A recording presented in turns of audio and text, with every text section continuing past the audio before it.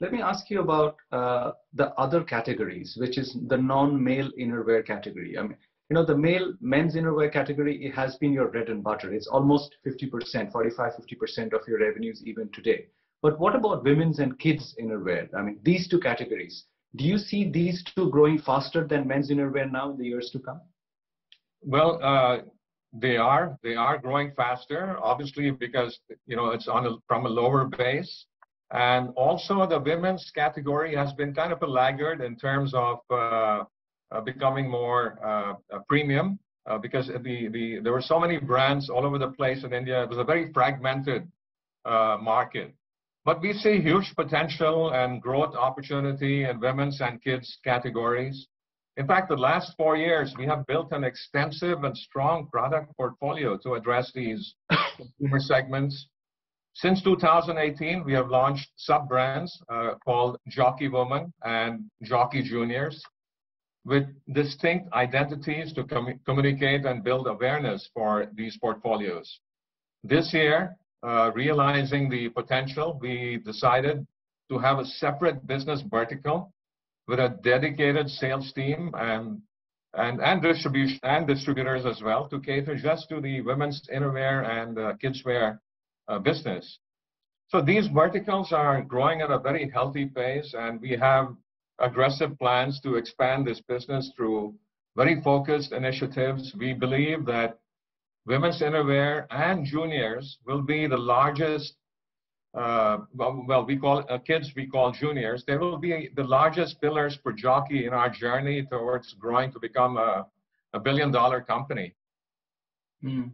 So, uh, what percentage, I mean, if you look out, say, four or five years from now, I mean, if you had to guess, how much of your revenue pie would be men's, women's, and juniors? What would be the breakup? You know, uh, we are we're aiming to for women's innerwear to equal men's innerwear. That sounds wonderful. I mean, that sounds wonderful yeah. in more there's, ways than. There, I mean, you know, there's no reason why it shouldn't be equal.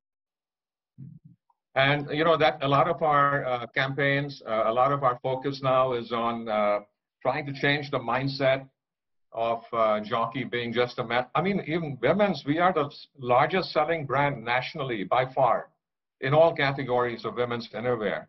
But when you compare to the potential that we could possibly have, we are only at, as I mentioned, at six, seven percent. So uh, there is so much scope, a lot of catching up to do for women's, and I think we're on the right track.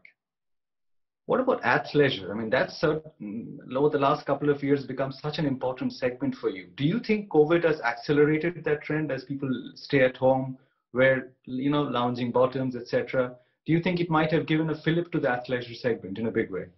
Absolutely. While you know, while athleisure has actually been a part of our brand offering right since we launched in India in 1995, its relevance, its potential to grow has never been as significant as it has as it is today, owing to the pandemic and the resulting shift in demand from well formal wear, work wear to work from home and comfort wear. You know, so this has led to a huge demand coming in favor of jockey athleisure.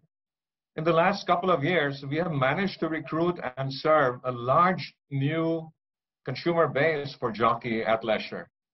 And our investments in the product portfolio with some really, I mean, world-class products in terms of design, styling, performance could not have come at a better time.